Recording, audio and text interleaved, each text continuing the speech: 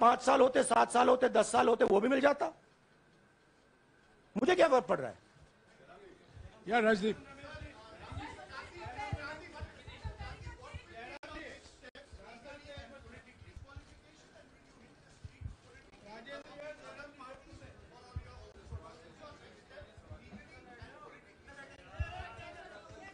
My my i have only one step.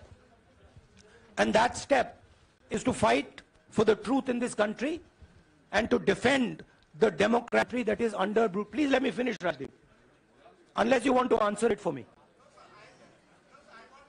You do that also sometimes. Yeah, so so my my job as i see it is to defend the democratic nature of this country. And I will do whatever I have to do, whatever I have to do to defend the democratic nature of this country. What does that mean? That means defending the institutions of this country. That means defending the voice of the poor people of this country. That means telling the people of this country the truth about people like Mr. Adani, who are basically exploiting the relationship they have with the Prime Minister. Yeah, Pallavi. Pallavi. Please, one second. Let's go. Go on the ordinance then, then perhaps you wouldn't be facing the law today. Your response to that? the, my response to that is that when somebody is guilty of something, they want to distract everybody's attention. Right? If you catch a thief, the first thing he says is, I didn't do it. The second thing he says, look there, look there, look there, look there. Right? That's what the BJP is doing. We have caught 20,000 crore rupees entering Mr. Adani's companies.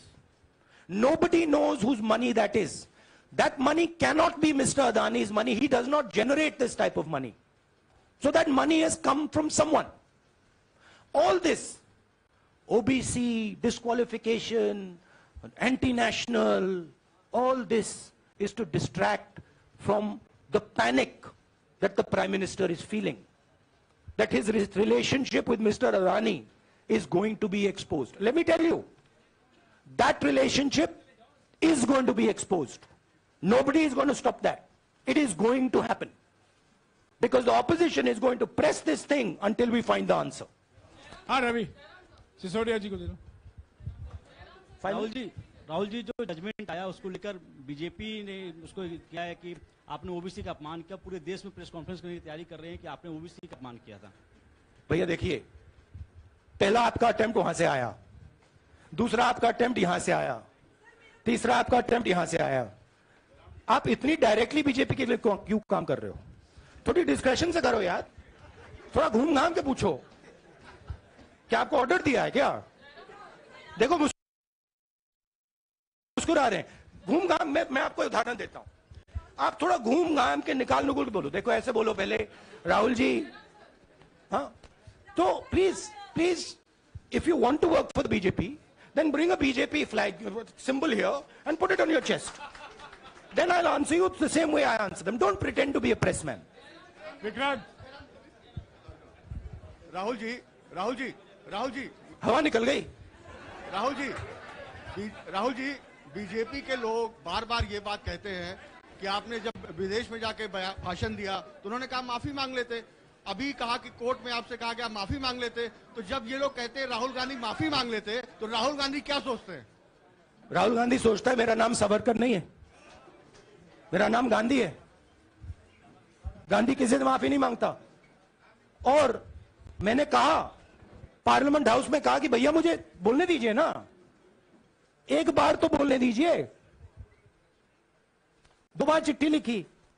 तीसरी बार मैं personally speaker से जाके कहता हूँ speaker sir please आप democracy के democracy के लोकतंत्र के आप प्रोटेक्टर हैं। मुझे बोलने दीजिए मुस्कुरा आगे कहते हैं, भैया मैं तो नहीं कर सकता। आप नहीं कर सकते तो कौन कर सकता है? शायद मुझे जाके मोदी जी से पूछना पड़े। वो तो करने नहीं देंगे। तो मेरा जो पॉइंट है, इस देश में लोकतंत्र खत्म हो गया है।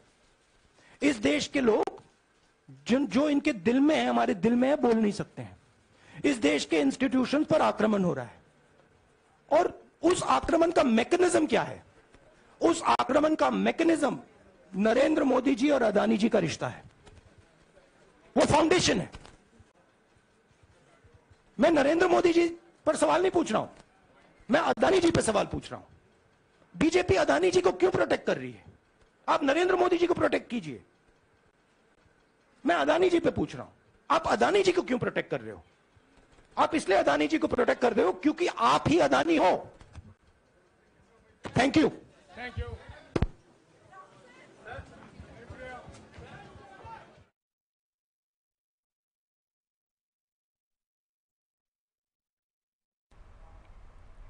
And that was it for this hour's bulletin. For more news and updates, stay tuned to Hornbill TV. Goodbye.